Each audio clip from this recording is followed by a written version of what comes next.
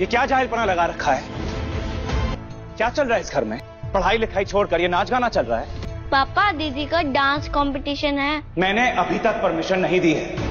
लक्ष्मी की तबीयत खराब है यहाँ पर कार्तिक को बहुत चिंता हो रही है। भाई लक्ष्मी की तबीयत तो खराब नहीं है यहाँ पर गायत्री ने ऐसा सब लोगों को बोला है कि लक्ष्मी नहीं आ सकती किसी भी पूजा में।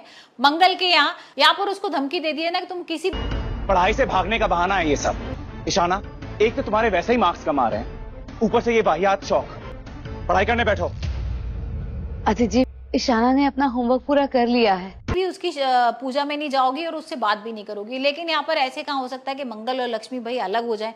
यहाँ मंगल आ जाती है लक्ष्मी के लिए काढ़ा वाड़ा लेकर घर पर उसके और उसको पिलाती है और और ये ना इस प्रतियोगिता में भाग लेना चाहती है और इसमें प्रतिभा भी है बहुत बढ़िया डांस करती है। मैंने देखा अभी कर रही थी हमें ना इसको बढ़ावा देना चाहिए। और ये देख करना यहाँ पर गायत्री को गुस्सा आता है।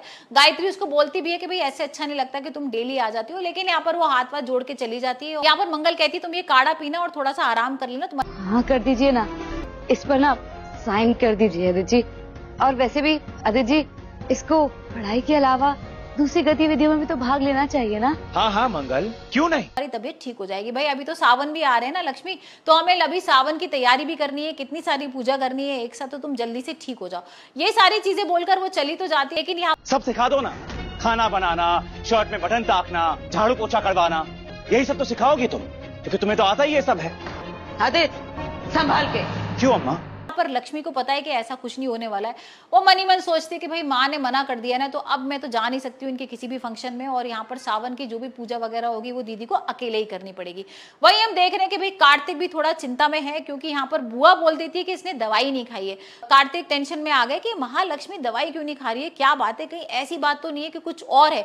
गायत्री भी अलग अलग भड़का रही है ना भाई कार्तिक को किसी तरीके से। कभी उसको बोल देती है दवाई नहीं खा रही है, ध्यान नहीं रख रही है। कभी उसको बोलती है कि, भाई ये पूजा में जाने के लिए इतनी जिद कर रही है।